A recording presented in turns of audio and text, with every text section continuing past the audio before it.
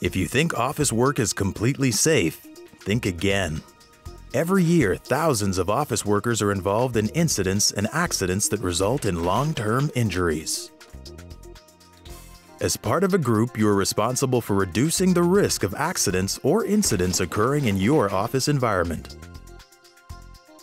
A complacent attitude to office safety can lead to unnecessary accidents and injuries occurring. Potential hazards in the office can be avoided by taking simple precautions. Office safety is essential to your success and the success of your organization.